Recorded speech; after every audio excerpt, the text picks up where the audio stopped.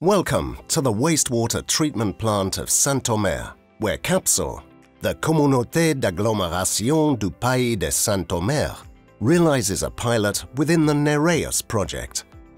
As a part of the Nereus demo, new equipment has been installed to improve the quality of the sludge that is left after treating wastewater.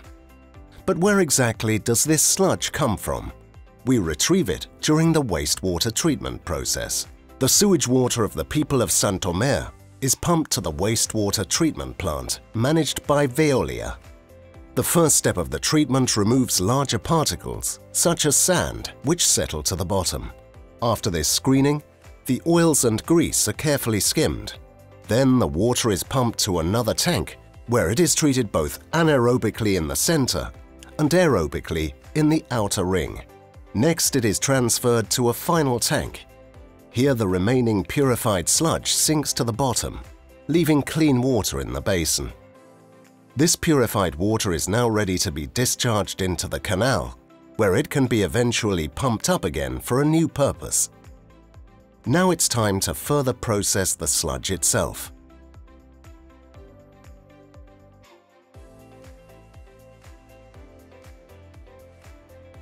First, polymers are added to make the sludge particles adhere to each other better. It is important that the sludge sticks together well because afterwards we put it through a centrifuge, spinning at a high speed.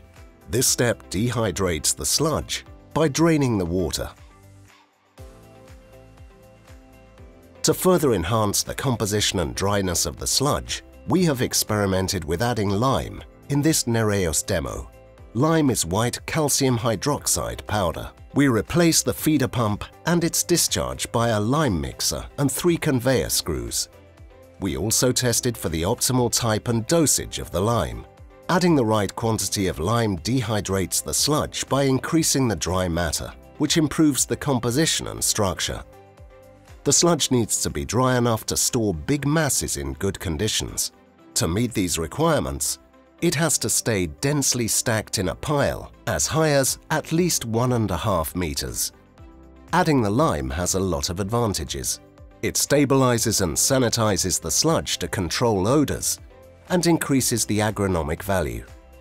Lime sludge improves soil structure as well as its pH levels and has positive effects on infiltration, drainage and water holding capacity. Thanks to the lime optimization, the dryness of the sludge has increased from 26% to 32%.